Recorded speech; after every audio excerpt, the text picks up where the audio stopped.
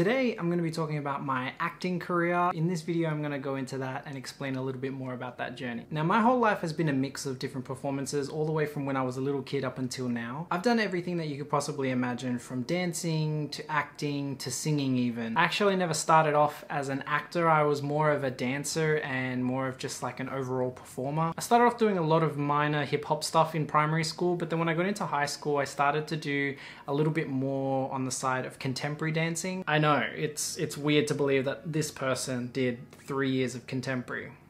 But I did, and during that time, I actually was fortunate enough to be selected as part, well, actually audition for a part in our musical at the time. It was Grease the musical, and it was something that was actually performed at one of the big entertainment centers in Darwin. By the way, in the Grease musical, I played Eugene. That's hence hence the get up. But it wasn't until I got to university and moved to Melbourne was when I really started to focus more on the acting side of things. Dad kind of gets it, but they both want me to settle down do the whole career thing.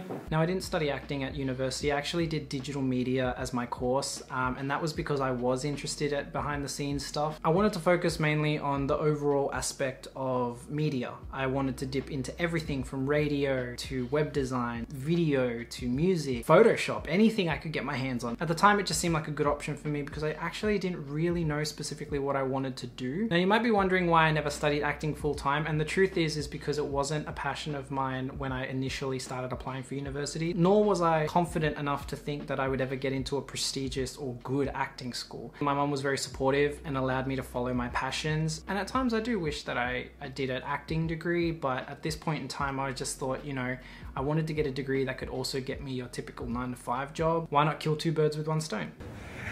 There's four of us, and we can only pick one? First thing I did was find an agent. It was pretty much like, you know, those random ads that you find on Facebook. And I found one and I thought, you know what, why not? My experience as an extra really helped me and solidified my sort of professionalism on set. After about two or three years of doing this, I decided that it just got repetitive. It did get kind of mundane for me and I did feel like I wasn't getting the nourishment that I really wanted. Not to mention there were a lot of extras that really were just extras and wanted to just do extra work. A lot of the ones I worked with, they weren't really professional because they were sort of fangirling over actors and actresses that they had seen on set. People have to remember that this is a job and you do have to give them respect. I was very fortunate enough to be a part part of shows like Neighbours, Offspring, a series called Picnic at Hanging Rock. But funnily enough, my first job was actually a Pads commercial. I actually even tried out auditioning for Filipino Big Brother uh, that was weird, but yeah, I did that, and that was a dream come true to have to be able to audition for that. I didn't get in, but it was cool. It was a cool experience. Talia, are you asking me to define colorblindness? Now, if you want to be an extra, that's totally fine. It's an awesome gig that you can do. You get some cash in your hand, and you get to sort of be a part of productions without, in a way, putting in as much work as you would have to as an actor. Soy? So 2017 onwards, I got serious. My whole career as an actor so far has been a whole bunch of short courses. I, I, think I could compile all the short courses that I've done into at least one or two years worth of acting experience. You're not making any sense. And that for me is ongoing. That's never going to end. So I've constantly tried to find more short courses, more coaches, more actresses and actors that I can work with, just so I can learn all the different styles and everything that's out there. Now I trained under NFTA here in Melbourne and specifically I trained under Nancy. Nancy, if you're watching this video, shout out to you for everything that you've done. But she basically was my first ever major acting coach and she's, even till now, she still guides me through a lot of the things. I actually was supposed to go to LA as part of another course that she runs in August, but because of COVID and everything that's happening, I had to put that on hold and hopefully I'll be able to do that next year. Pa? Ma? Completa na. After completing that course, that opened up a whole world for me because I felt like I could be taken seriously as an actor now.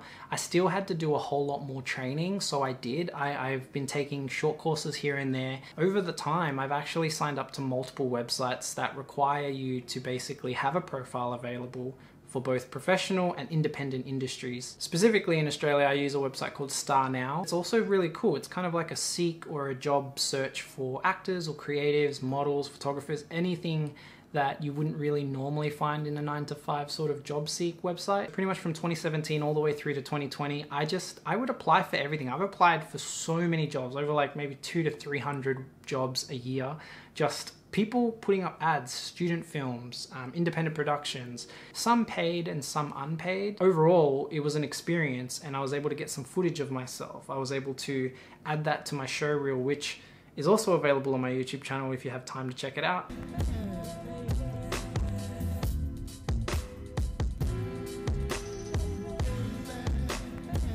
My very first acting coach, actually, when I did the Grease musical, was Miranda Tapsell. You know her from The Sapphires. She actually is from Darwin as well, and she came up and taught us during that time. I don't even know if she remembers, but that was definitely a big turning point for me and she was really awesome to learn from. Other people I've worked with are like Nancy Rizk, as I mentioned before, from the Hollywood Initiative. I've worked with Rebecca in Sydney from Acting with Bec. I've been fortunate enough to learn from institutions such as NIDA, so the National Institute of Dramatic Arts here in Australia, as well as TAFTA. Um, I've been fortunate enough to also learn from American um, coaches as well and casting directors such as Scotty Mullens and Anthony Gilardi um, who, by the way, if you're watching this video, you guys are awesome. In Australia, I have profiles with my current agencies on casting networks. I will want to get one eventually with Showcast, which I heard is a very big one. I just haven't had money for it. Unfortunately, it's always financial.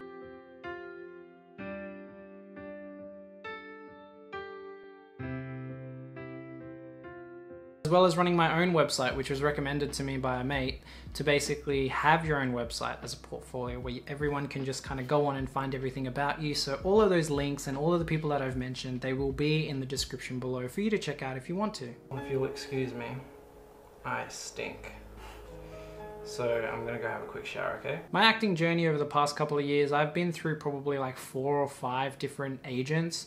It is very hard to find the right agent. A lot of people didn't take me seriously when I was saying, hey, I wanna be an actor and I wanna do acting work. They would try to put me into a box of extra work and that for me just it just didn't cut it. Being someone who wanted to take it seriously and my agent wasn't backing me with that so I had to drop a lot of agents. I took ownership of that. I would give myself a whole year to be with them and see how that all turned out. And you can kind of gauge based on the sort of communication you guys have with each other, whether they trust you and you trust them, the type of work you get from them. Those are definitely things you need to keep an eye out if you're trying and starting in this industry because you have to have a connection and communication with your agent. They're like your parents in this industry, so they, they take care of you but you do have to be able to communicate that with them. But hey, let's be real it might not be for you. Thankfully, this year has been very good. I've actually been able to secure, I'm with CMT uh, Management, thanks to Nancy again, who recommended them, and they've been amazing. Um, the communication with them has been really cool. I've been able to get quite a bit of decent work despite being in isolation. It's just a lot of video submissions. For me, it's really cool to see where I was in 2013 up until now. I mean, as of 2019, I started modeling and, and my hand at that, and I've been fortunate enough to get modeling agencies through that as well. So you never really know what you can get if you just sort of try your hand at it. For me, I've always been a dreamer. I've always been someone big on the arts, and I know that one day, one day, I will get my chance on the big screen. One of my goals is to be on a Marvel film, so Marvel, Disney, if you're watching this, I'm very thankful for my journey from going from extra to actor. Um, there are so many different sort of experiences that you can get from both. And if you want to be an extra, it's very easy to get into. Like I can tell you now, it is very easy to get into. I had no experience prior to doing that. But if you want to be an actor, you do have to step up your game. You have to do more. You have to learn all the techniques or the ones that work for you at least and you need to work on so many different aspects of your acting career. It hasn't become a full-time job yet for me but hopefully one day it will and I've been thankful that I do get opportunities from time to time to be able to flex my acting muscles. Hope you enjoyed my little story of how I went from extra to actor. If there's anything in this video that you found interesting that you would like for me to sort of dive more deeply into, um, I'd be more than happy to create a video for that. I want to be a great actor one day and I hope that I can tell some pretty epic stories before my time is up. And with that, I will see you in the next video. Peace. There you go, man. Thanks, man. Guess you are the leader. Yeah, well, the relationship...